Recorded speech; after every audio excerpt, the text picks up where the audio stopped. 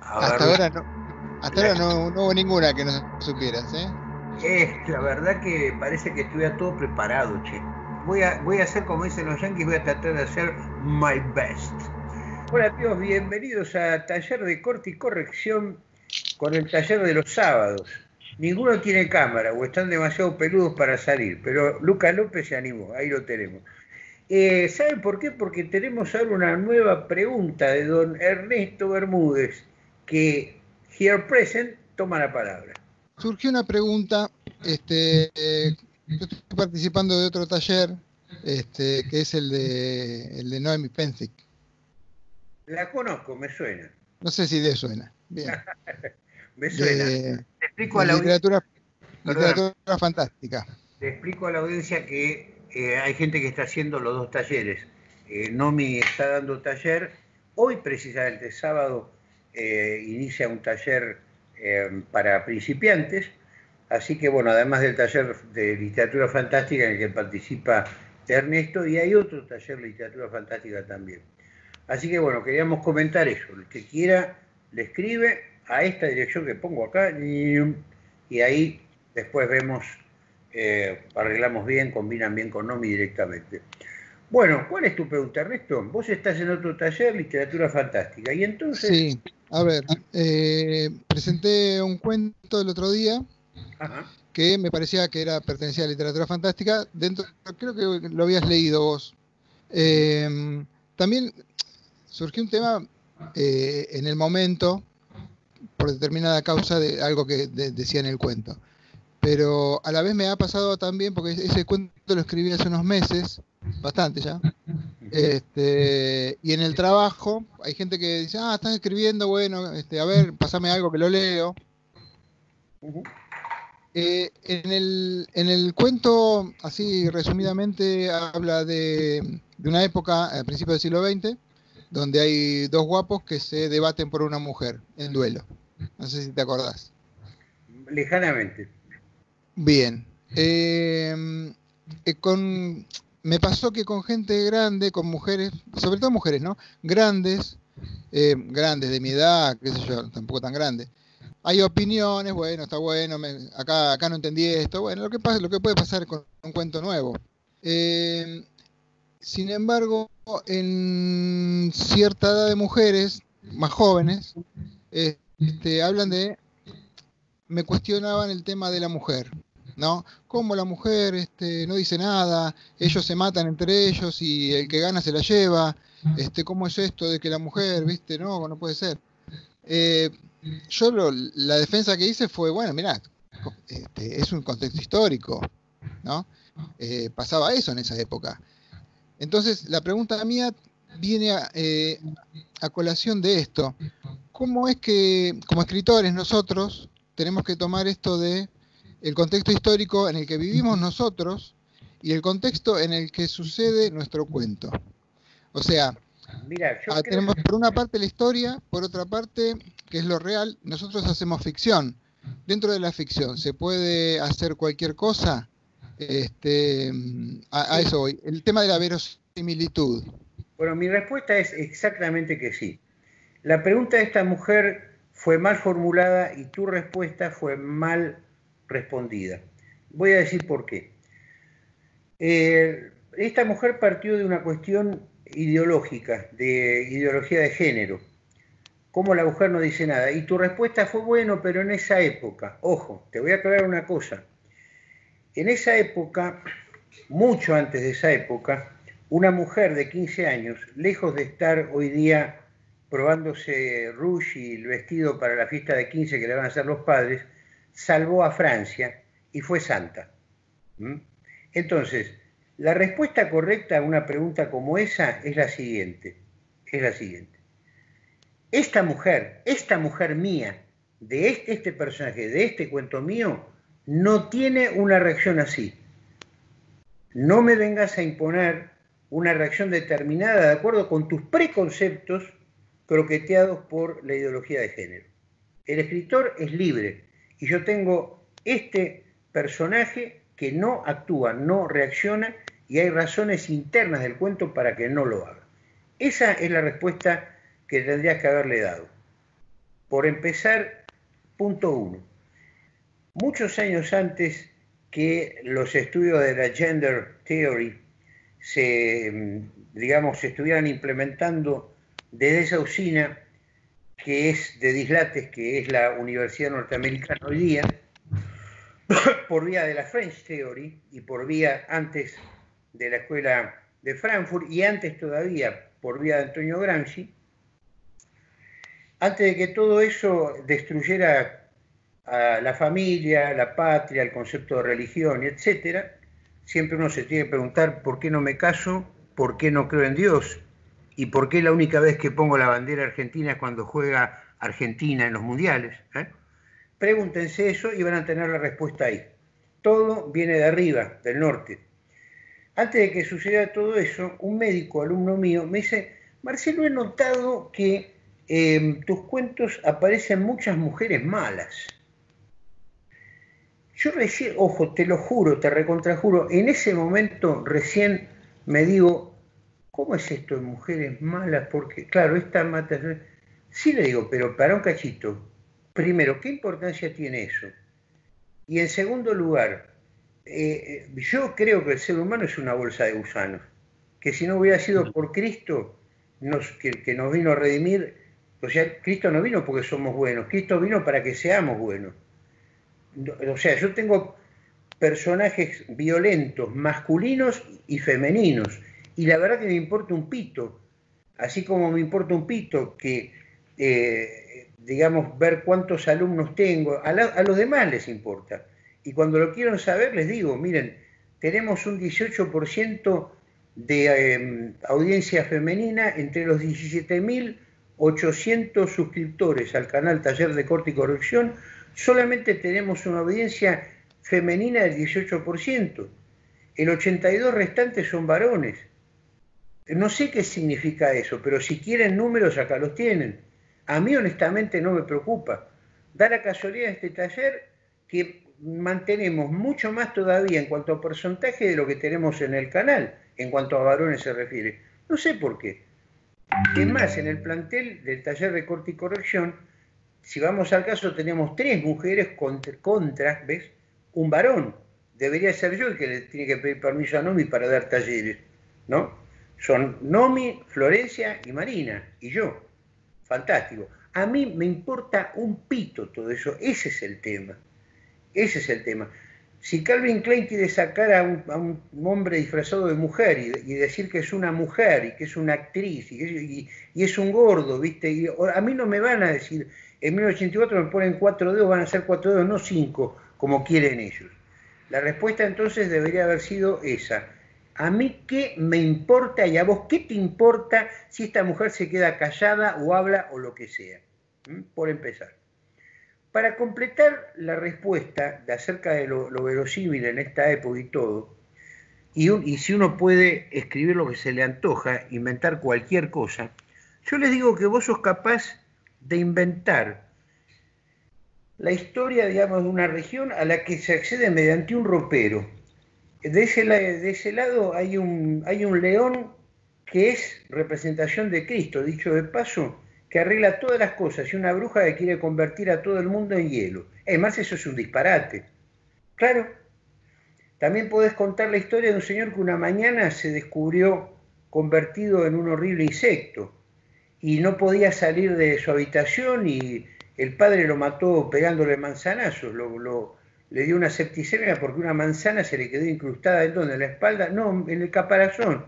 Marcia, eso es absolutamente absurdo. ¿Qué me está diciendo? Bueno, mira, hay un tipo que tiene una fuerza de, 20 hombres, la fuerza de un caballo, se puede convertir en lobo, en niebla, vuela convertido en un vampiro y, este, y tiene, tiene bajo su poder secuestrado en su castillo a un señor que vino a arreglar con él una cuestión inmobiliaria en Londres. Marce, es un disparate eso. Mira, hay un señor que le, le, ruega a alguien, alguna entidad que andaba por ahí, que él se mantenga joven mientras su cuadro envejezca y el cuadro envejece y toda su putrefacción moral se va viendo retratada.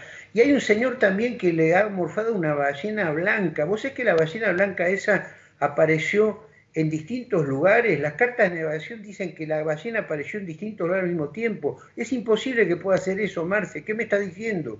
Y hay un señor también que descubrió una, un, producto químico que hacía que todo el mal saliera a flote, el mal en él, y un buen día descubrió que la droga no, no volvía.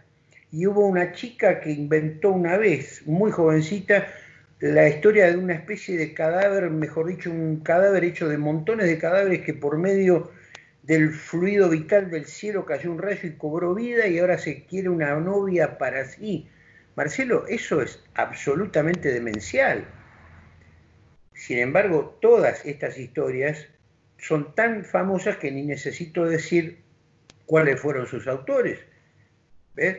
Entonces, ¿cuál es la cuestión? ¿Podemos escribir cualquier cosa? Sí, sí, claro que sí, podemos escribir cualquier cosa. Lo más demencial que se te ocurra se puede, se puede escribir. Pero acá hay una salvedad que hacer. Si vos no sabés escribir, hasta la historia de un simple oficinista va a ser inverosímil. En manos de una Mary en manos de un Bram Stoker, en, en, manos de un Stevenson, de un Melville, de un Kafka, todas estas historias que estuvimos repasando se han hecho absolutamente verosímiles. ¿Y acaso en manos de un, de un mediocre la historia de un empleado que echa cuentas en una calculadora resulta que es inverosímil. ¿Qué fue lo que pasó? Acá está la clave del tema y este programa se va a llamar Cómo escribir historias absurdas y hacerlo de manera verosímil. Y acá está la clave de la cuestión y la respuesta directa a Ernesto. Aquella mañana el señor Guerrero Sansa se despertó convertido en un horrible insecto. Nunca Kafka dice qué es lo que pasó. ¿Qué hace? Trata de hablar, no puede, le sale un ruido gutural. Trata de llamar porque está encerrado. No, no puede llegar porque está en el piso. Se para. Tiene patitas acá, en todo el vientre. Una de las pocas cosas que describe Kafka. Tiene patitas en todo, todo lo largo de la panza no puede acceder al picaporte. Entonces, ¿qué hace? Agarra el picaporte con las mandíbulas, se lastima todo encima, porque no puede, no puede abrir la puerta. No puede abrir la puerta. Entonces, ¿qué pasa? Esto, digamos, y como en todo, como en todo lo demás, como en todo lo demás, tenemos el caso de un personaje cuyas reacciones, aún siendo, habiendo sido convertido en una bestia, sus reacciones son humanas o inhumanas, según se vea.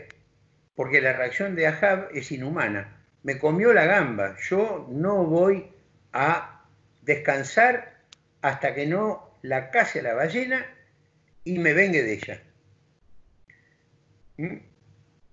Eh, pero guarda que es simbólica, mirá que la han visto en dos lugares distintos a la misma hora, al mismo tiempo, en dos lugares diferentes en el mismo día. No importa, yo estoy empecinado en eso. Eso, la venganza, no es que sea humana, la venganza es inhumana. Es lo que nos hace menos humanos. Ahí tenemos entonces que la, la moraleja sería la siguiente.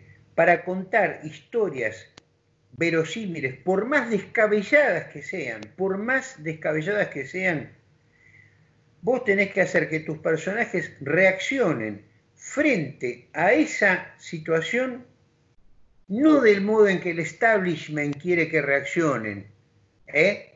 como esta mujer que te vino a decir esta cuestión de, eh, ¿qué pasó? ¿Por qué esta mujer no reacciona? ¿La tenés a menos a la mujer? No, ella en sí es una cobarde, ponele.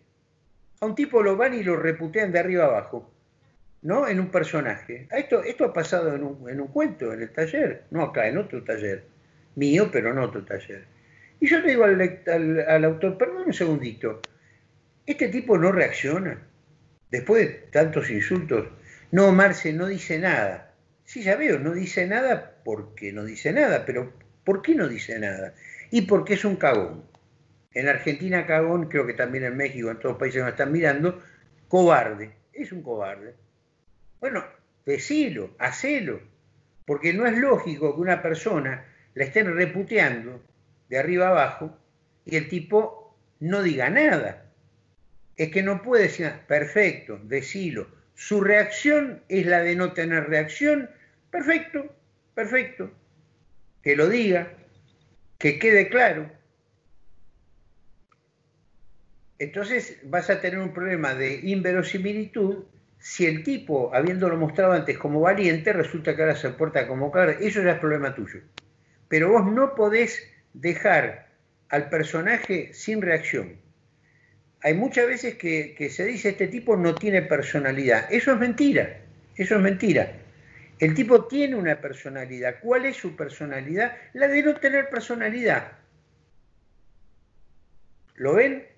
Entonces, volviendo, si las reacciones de tus personajes son lógicas frente a lo que está pasando, tu texto, tu novela, tu cuento, lo que sea, va a resultar verosímil y vas a poder escribir, como vos preguntaste recién, lo que se te antoje.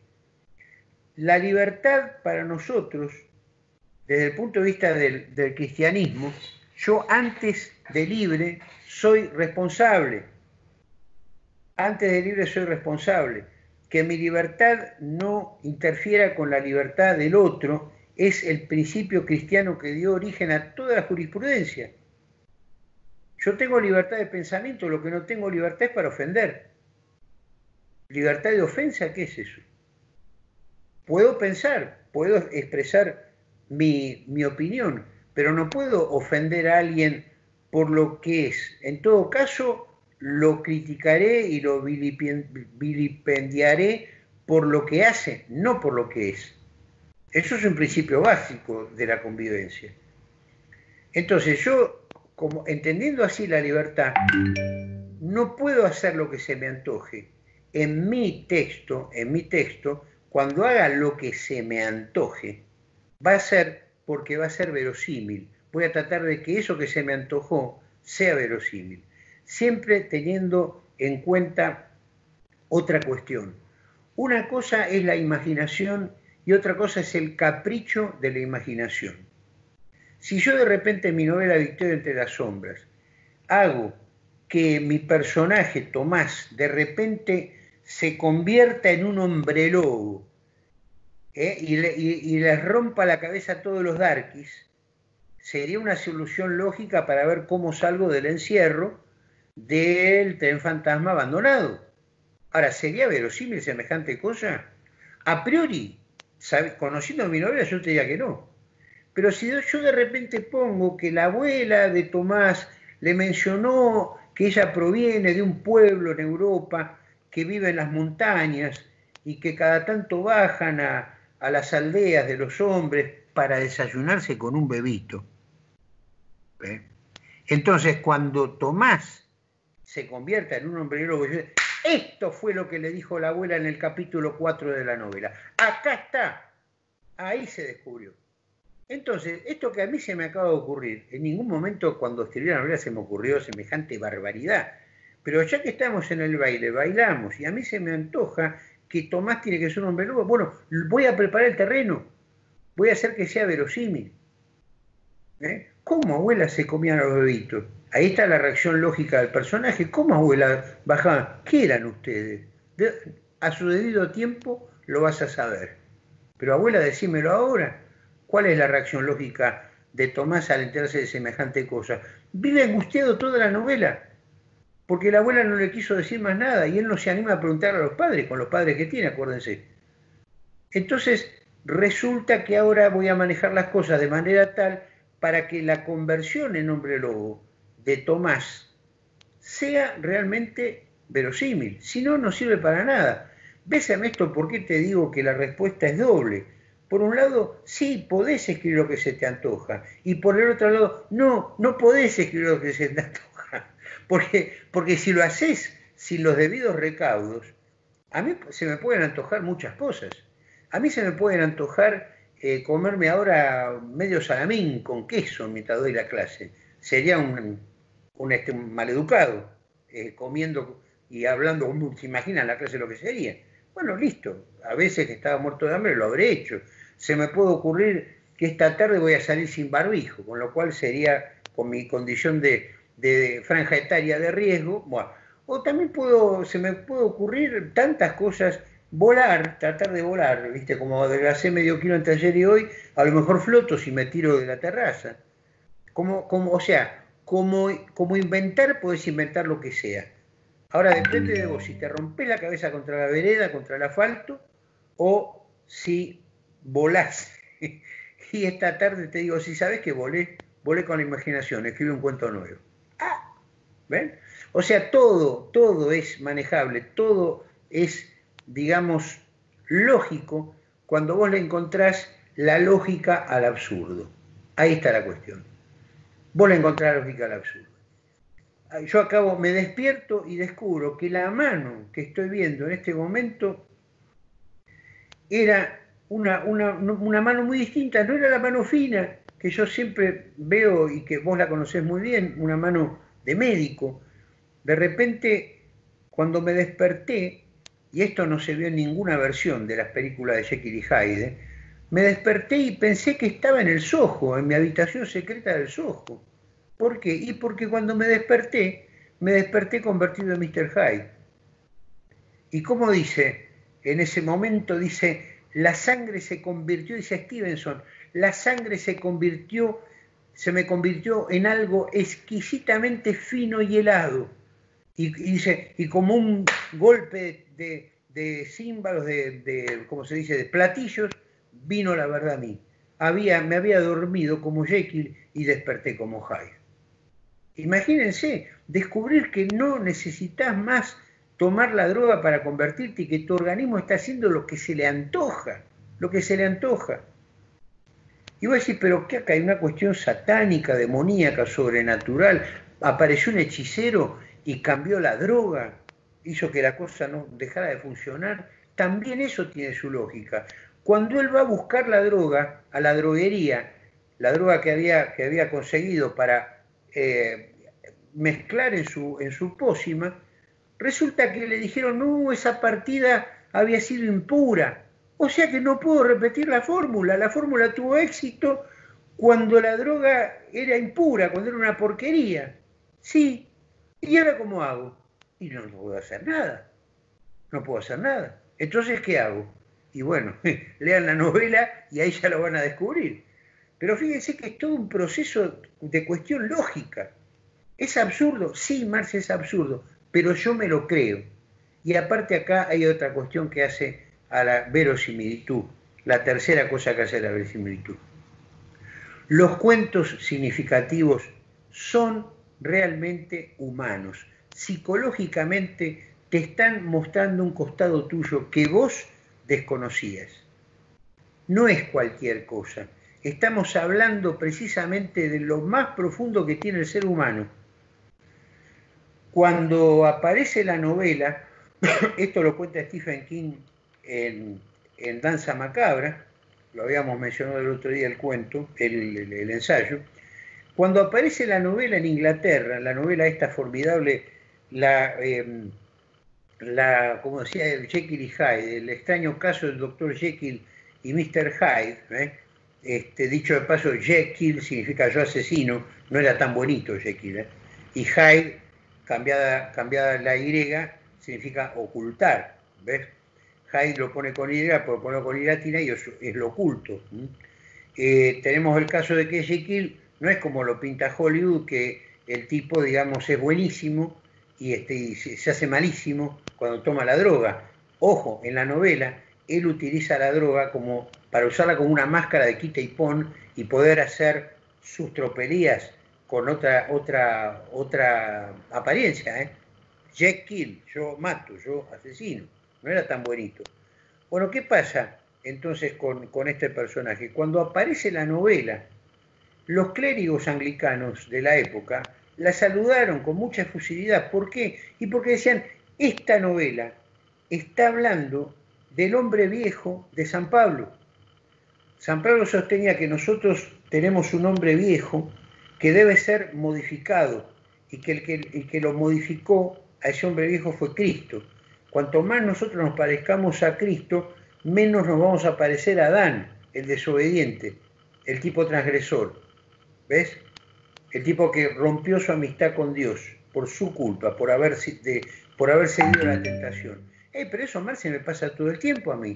Yo tengo una vida muy feliz, una, una vida realmente este, cómoda y se me cruzó una mina, ¿viste? ¿Y, qué hiciste? La verdad no me pude resistir. Bueno, ¿ves? ¿Ves cómo, cómo Stevenson estaba hablando de vos 100 años antes y sin haberte conocido? ¿Por qué? Porque trabajó con criterios humanos, criterios psicológicamente humanos, de representación simbólica de la realidad. Eh, pero eso es una fantasía. Será una fantasía para, para la gente mediocre, para el tipo ignorante, pero para el tipo que se educa, trata de, salir de la ignorancia, salir de la mediocridad, dice, la verdad que sí. Cuando yo leí Jekyll y Hyde, me vi comprendido por este cuento absurdo. ¿Eh? Gozosamente absurdo. Bueno, Ernesto, contestada la pregunta. Sí, sí, sí, totalmente. Bueno, gracias, Lucas. Bueno, estas son las razones que hacen verosímiles a un texto. Aprovechenlas, escriban lo que quieran, siempre y cuando las reacciones de sus personajes sean humanas. No hay otro modo de conquistar a sus lectores. Hasta pronto amigos, comenten, compartan. Gracias por mirar este programa. Le hacemos con todo en esto que es Canal Taller de Corte y Corrección. Soy Marcelo y Marco y los espero en mis talleres. Hasta luego.